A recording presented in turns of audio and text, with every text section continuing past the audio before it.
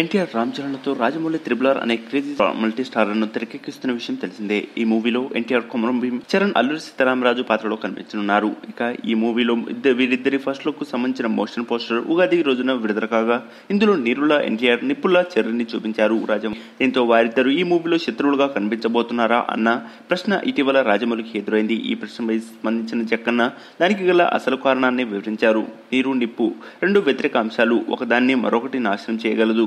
కానీ అవి రెండు కలిసి ఆవిరిగా మారి ఉత్పత్తి చేయబడిన శక్తి ప్రపంచాన్ని నడిపిస్తుంది అని రాజమౌళి తెలిపారు. ఇందులో ఎన్టీఆర్ రామ్ చరణ్ ఇద్దరు కలిసి బ్రిటిష్ వారిపై యుద్ధం చేస్తారని ఆయన పేర్కొన్నారు.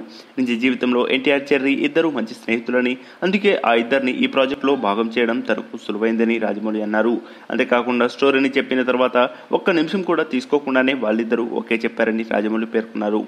ఇక తన తదుపరి చిత్రం గురించి మాట్లాడుతూ ఇంకా నెక్స్ట్ ప్రాజెక్ట్ పై ఎలాంటి నిర్ణయం తీసుకోలేదని త్రిబుల్ ఆర్ కంప్లీట్ అయిన తర్వాత తదుపరి మూవీ గురించి ఆలోచిస్తానని చెక్కనిచ్చారు. కాగా రాజమౌళి తదుపరి చిత్రం మహేష్తో కానీ ప్రభాస్ కానీ ఉండొచ్చని వార్తలు గట్టిగా వినిపిస్తున్నాయి. ఇక ఈ చిత్రం జనవరి ఎనిమిది రెండు వేల ఇరవై ఒకటిన ప్రపంచవ్యాప్తంగా విడుదలకు సిద్ధమవుతుంది. ఇటీవలే ఇక చాలా రోజులుగా వాయిదా పడుతున్న ఈ సినిమా ఇక ఇటీవల కోవిడ్ నైన్టీన్ కారణంగా మరోసారి వాయిదా పడ్డ విషయం తెలిసిందే.